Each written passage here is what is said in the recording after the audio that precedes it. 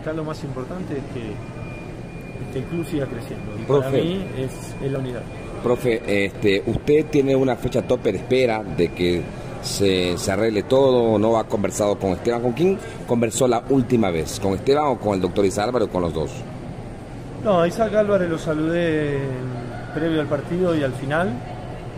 Eh, con Esteban charlamos eh, ayer y, y él sabe lo que pienso, el doctor Isaac sabe lo que pienso y para mí eso es lo más importante.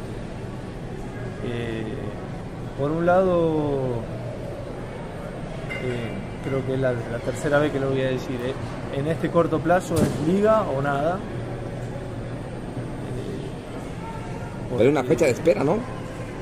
De ¿En su parte, sentido? de su, para tomar una decisión. No, no, primero quiero saber cómo voy a tomar una decisión si no sé cómo van a estar. Obviamente, eh, Isaac por un lado me dijo que quería que siga, Esteban también, eh, pero ¿cómo voy a tomar una decisión si no sé cómo va a seguir las condiciones? yo le decía porque de repente hay otros equipos que están interesados. Entonces uno dice 15 días espero. Con mes. todo respeto, eh, con todo respeto a grandes equipos que, que puedan eh, estar pendientes de lo de uno, prioridad es liga. Por eso quería aclarar eso. Y, y lo repito, que la prioridad la tiene liga. Tengo un sentimiento muy fuerte, me ha dado mucho liga, mucho, y no hay dinero que, que pueda cambiar mi opinión. ¿Conversó con Pablo Guerrero? No, no.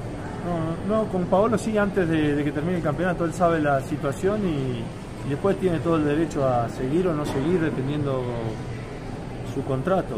Eh, yo a todos los jugadores he dicho que Liga es un gran equipo y que, sobre todo los jugadores grandes, ¿no? que lo miren cada seis meses, vayan viendo su situación. Pero eh, ojalá, ojalá siga estando nosotros a cargo del equipo o no. Ojalá que siga porque es un gran jugador y